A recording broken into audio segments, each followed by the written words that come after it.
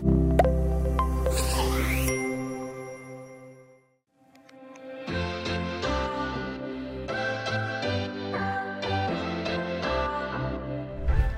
สดีครับ พบกันใน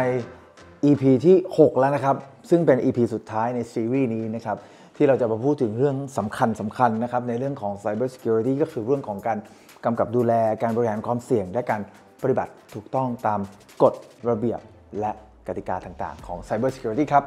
ตัวผมเองนะครับ อาจารย์ฝนนรินทร์ฤทธิ์เปรมอภิวัฒโนกุลครับ ก็ทำงานด้าน Cyber Security มามากกว่า 20 ปีครับ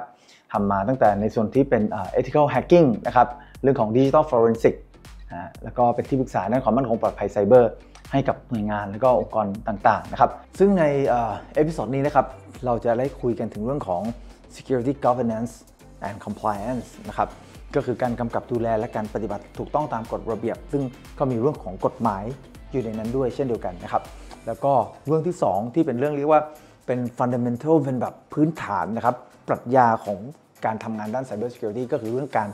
บริหารความเสี่ยงนะครับ แล้วก็มีเรื่องของ privacy เข้ามาด้วยนะครับ คอร์สนี้นะครับ เหมาะกับใคร ไม่ว่าจะเป็นโปรแกรมเมอร์นะครับที่ต้องการจะ up skill นะครับเพื่อเข้าสู่สายงาน cyber security ไม่ว่าท่านจะเป็น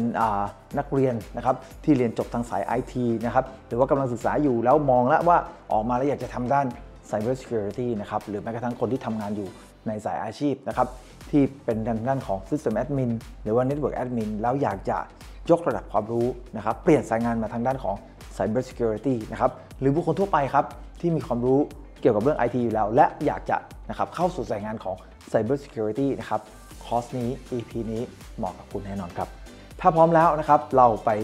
เข้าสู่เนื้อหาในบทที่ 1 ที่ว่าด้วยเรื่องของการกำกับดูแล และการปฏิบัติตามข้อบังคับต่างๆ กันได้เลยนะครับ